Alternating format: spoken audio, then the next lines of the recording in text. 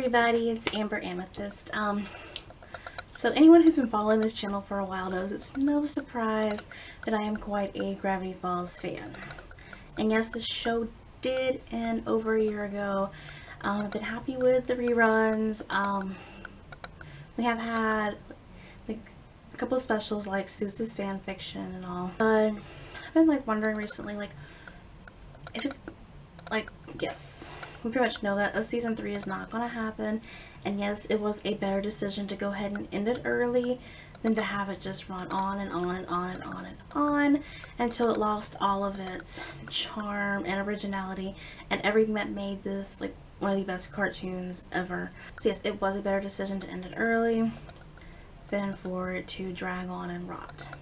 However, I'm wondering if it was possible that we could ever have like a new mini-series or a movie or anything of the sort um, with such a great location and so many wonderful characters it is possible. These were some of the ideas I came up with. Um, I came up with three actually and they are in no particular order. This is just some ideas I have that I just felt like sharing. Before I get started, I should go ahead and mention spoiler warning. There are some spoilers for the end of Gravity Falls itself. If you have just started watching or if you not finished watching the series all the way through, um, you may want to go ahead and skip this video until you do because it does have some spoilers in it. As well as a few spoilers for Journal 3. Um, but if you have watched all of Gravity Falls, it shouldn't be too much of a spoiler. I mean, pretty much everything that's in here are things we pretty much already know um, that have happened um, based on a couple of the episodes, such as the Tale Two Stans and um, Society of the Blind Eye. I'm just giving that warning before we get into it. So the first spin-off se series that um, I thought of was Ford and Stan's um, Adventures Out on the Sea. We find out at the end of Weirdmageddon Part 3 that Stan and Ford finally do go after their childhood dream of sailing around the world looking for adventure and treasure. Um, we do see a small glimpse of this in the last episode when they're doing pretty much like what everyone, giving glimpses of everyone in the show um, as a part of the finale. So it's possible that we could have like maybe a six or eight episode, like 30 minute episodes of the adventures and their encounters out on the sea when they're researching the anomalies out there.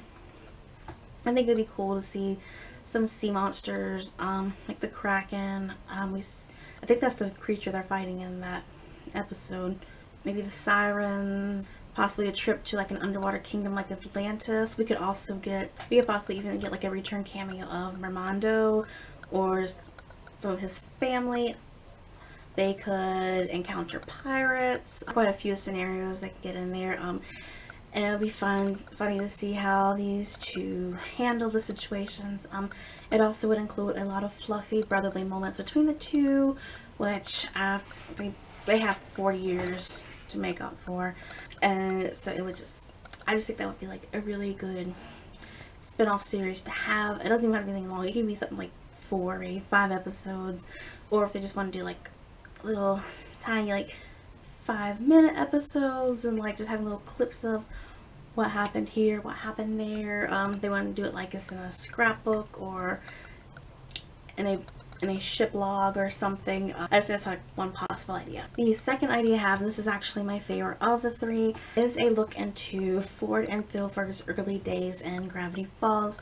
We get a brief, brief look into this in A Tale of Two Stans when Ford is giving his side of what happened and also in the journal um, pretty much the first third of the journal is um, pretty much Ford's early days in Gravity Falls and the journal itself could be like a basic script for this this mini-series. Um, this one could actually be a little longer, maybe 10 episodes possibly even 12. Um, I don't know if they want to do that many.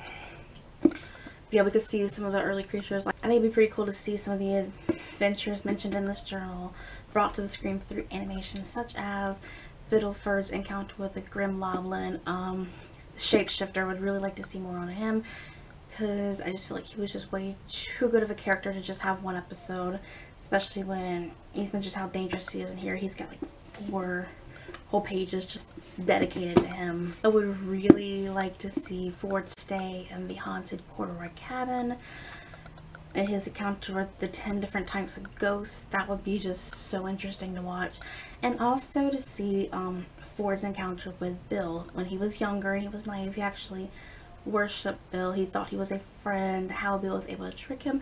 Like we do get to see like very little of that in the last Mabelcorn, but it's explained a lot more in detail here. It would also be nice to see Ford's descent into madness when he realizes that Bill has tricked him, like right up until Stan comes, and possibly even further than that if they also want to show like maybe some of Ford's, if they want to do a second season, that could pretty much just dedicated to Ford's adventures in the portal. If we get like a little bit of that that in here, we hear about some of the other dimensions that are in here, as well as Ford's almost first battle with Bill.